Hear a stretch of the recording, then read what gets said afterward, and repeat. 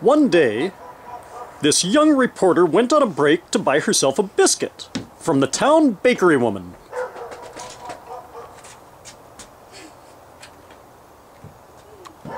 Here you go, dearie. Have a nice day. Thank you, ma'am.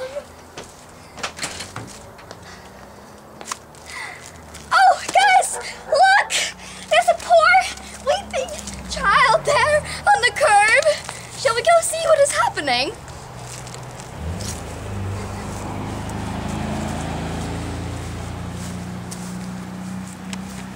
What's the matter? I lost my pet monster. What's that you got there? Oh dear. Oh dear. Look at that. Well, I'll keep my eye open for her, okay? Okay. That night,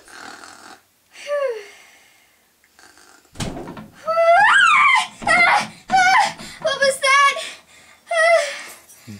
Just then, what do you think that was, Teddy? something walked through the door. Uh, uh, uh, oh my goodness! It's it's the pet monster! Oh. Oh dear! How did this pet monster get in my bedroom? Come here, monster. Oh, come on. Good girl. Let me see if you belong to that young child. Oh yes. Oh yes. Yes! You belong to her. I will give her a call. Just a moment, please.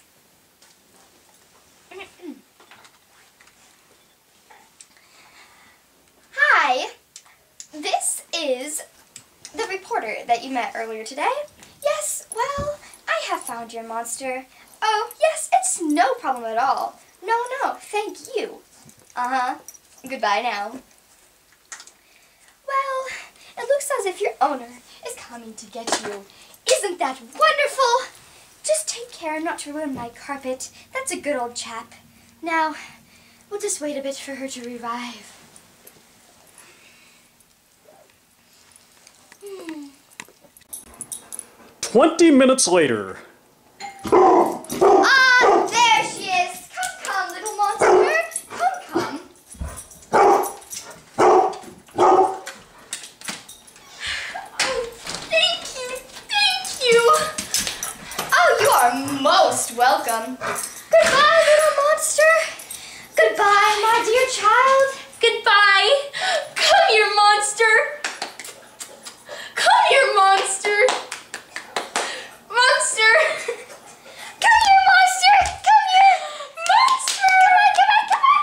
Come out the door with your owner. Oh, monster, I love you. Come here, monster. Oh. Bye. Bye now. And that was how the missing pet monster was found. The end.